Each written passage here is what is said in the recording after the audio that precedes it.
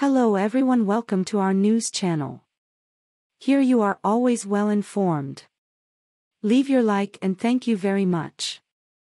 China's defense minister defended sailing a warship across the path of an American destroyer and Canadian frigate transiting the Taiwan Strait, telling a gathering of some of the world's top defense officials in Singapore on Sunday that such freedom of navigation patrols are a provocation to China.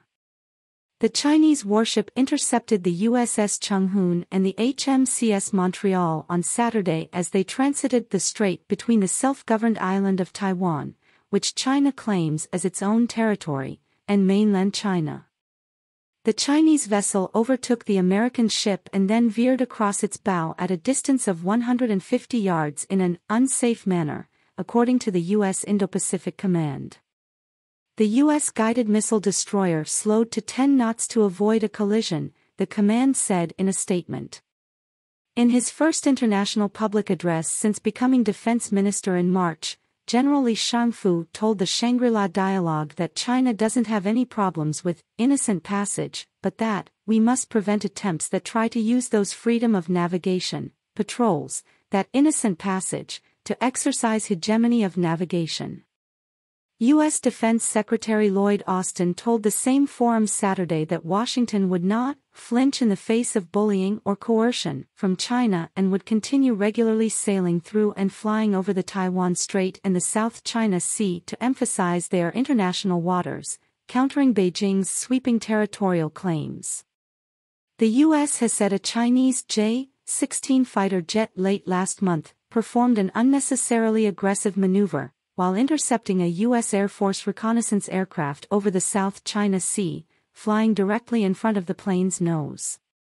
Those and previous incidents have raised concerns of a possible accident occurring that could lead to an escalation between the two nations at a time when tensions are already high. Li suggested the US and its allies had created the danger, and should instead should focus on taking good care of your own territorial airspace and waters.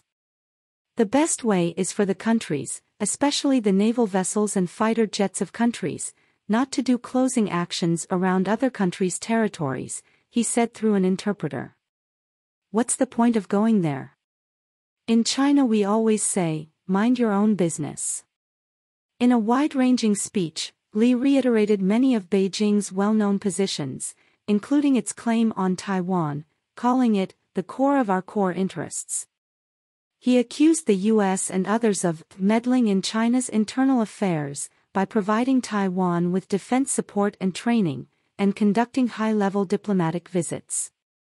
China stays committed to the path of peaceful development, but we will never hesitate to defend our legitimate rights and interests, let alone sacrifice the nation's core interests, he said.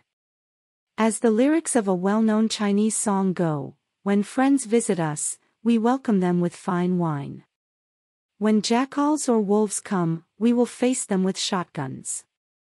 In his speech the previous day, Austin broadly outlined the U.S. vision for a free, open, and secure Indo-Pacific within a world of rules and rights.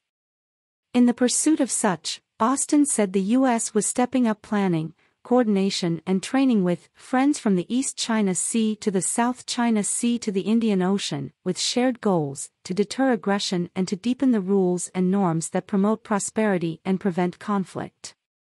Li scoffed at the notion, saying, some country takes a selective approach to rules and international laws. It likes forcing its own rules on others, he said. Its so-called rules-based international order never tells you what the rules are and who made these rules. By contrast, he said, we practice multilateralism and pursue win-win cooperation. Li is under American sanctions that are part of a broad package of measures against Russia, but predate its invasion of Ukraine, that were imposed in 2018 over Li's involvement in China's purchase of combat aircraft and anti-aircraft missiles from Moscow. The sanctions, which broadly prevent Li from doing business in the United States, do not prevent him from holding official talks, American defense officials have said. Still, he refused Austin's invitation to talk on the sidelines of the conference, though the two did shake hands before sitting down at opposite sides of the same table together as the forum opened Friday.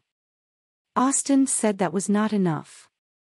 A cordial handshake over dinner is no substitute for a substantive engagement, Austin said.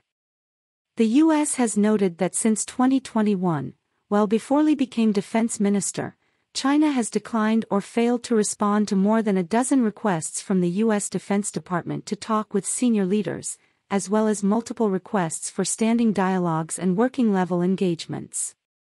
Li said that, China is open to communications between our two countries and also between our two militaries, but without mentioning the sanctions, said exchanges had to be based on mutual respect. That is a very fundamental principle, he said. If we do not even have mutual respect, then our communications will not be productive.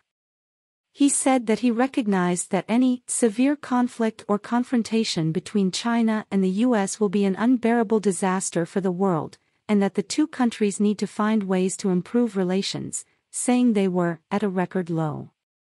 History has proven time and again that both China and the United States will benefit from cooperation and lose from confrontation, he said. China seeks to develop a new type of major country relationship with the United States. As for the U.S. side, it needs to act with sincerity, match its words with deeds, and take concrete actions together with China to stabilize the relations and prevent further deterioration, Li said.